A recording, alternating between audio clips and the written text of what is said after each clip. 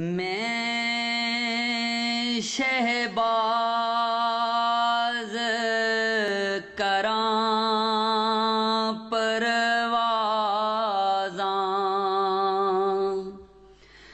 وچ دریا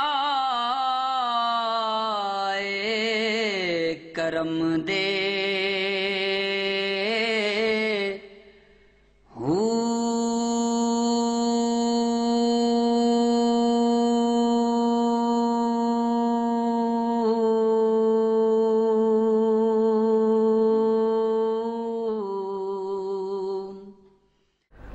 اعوذ باللہ من الشیطان الرجیم، بسم اللہ الرحمن الرحیم۔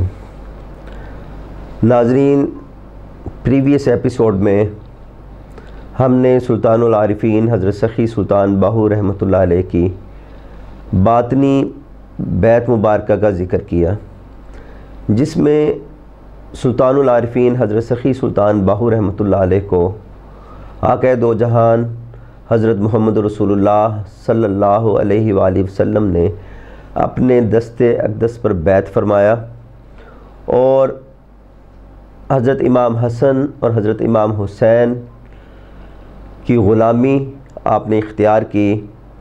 حضرت بی بی فاطمۃ الزہرہ رضی اللہ تعالیٰ عنہ نے آپ کو اپنا فرزند قرار دیا اور حضرت غوث اعظم حضرت سیدنا شیخ محی الدین عبد القادر جلانی رضی اللہ تعالیٰ عنہ نے آپ کو تلقین فرمائی۔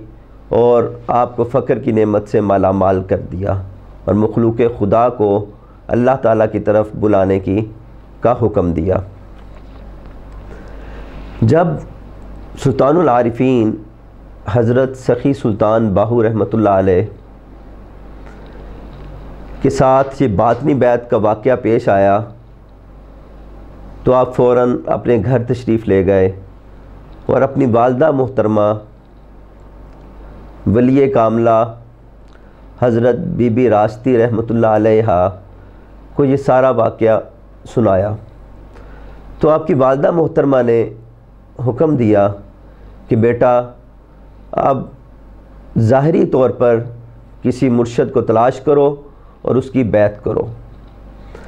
سلطان العارفین حضرت سخی سلطان باہو رحمۃ اللہ علیہ نے اپنی والدہ سے انتہائی ادب سے عرض کی کہ مجھے اویسی طریقہ سے آقا دو جہان حضرت محمد رسول اللہ صلی اللہ علیہ وآلہ وسلم نے بیعت کیا ہے اور حضرت سیدنا شیخ محی الدین عبد القادر جلانی رضی اللہ تعالیٰ عنہ کے سپرد کیا اور مجھے حکم دیا ہے کہ میں مخلوق خدا کو خدا کی طرف بلاؤں اور تلقین کروں۔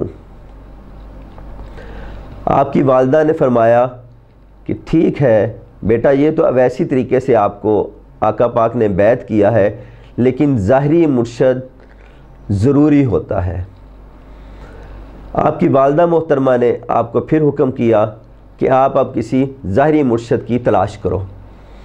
سلطان العارفین حضرت سخی سلطان باہو رحمۃ اللہ علیہ نے پھر عرض کی کہ میرے لیے آپ ہی مرشد ہیں۔ میری مرشد آپ ہی ہیں۔ حضرت بی بی راستی رحمۃ اللہ علیہ نے فرمایا کہ حضرت فاطمۃ الزہرہ رضی اللہ تعالیٰ عنہ اور رابعہ بصری نے کبھی کسی کو بیعت نہیں کیا۔ اور دین اسلام میں خواتین کسی کو بیعت نہیں کر سکتی تو بیٹا، اس وجہ سے میں تمہیں ظاہری طور پر بیعت نہیں کر سکتی۔ تم کسی مرشد کی تلاش کرو اور جا کر ان کے ہاتھ پر بیعت کرو۔ حضرت بی بی راستی رحمۃ اللہ علیہ نے جب اپنے فرزند سلطان العارفین، حضرت سخی سلطان باہو رحمۃ اللہ علیہ کو یہ حکم دیا تو حضرت سلطان العارفین، حضرت سخی سلطان باہو رحمۃ اللہ علیہ فوری طور پر گھر سے نکل کھڑے ہوئے اور مرشد کی تلاش میں سرگردہ ہو گئے۔ اس واقعہ سے یہ بات ثابت ہوتی ہے کہ ظاہری مرشد کی ضرورت فقر میں بہت ضروری ہے۔ اگر کوئی شخص لکائے الہی اور مجلس محمدی صلی اللہ علیہ وآلہ وسلم کی دائمی حضوری چاہتا ہے۔ تو اس کے لیے یہ شرط ہے کہ وہ کسی ظاہری مرشد سے بیت کرے۔ میری اللہ تعالیٰ سے دعا ہے کہ اللہ تعالیٰ ہمیں مرشد کامل اکمل کو پہچاننے کی توفیق عطا فرمائے۔ تاکہ ہم لکائے الہی اور مجلس محمدی صلی اللہ علیہ وآلہ وسلم کی نعمت حاصل کر سکیں۔ وما علینا الا البلاغ المبین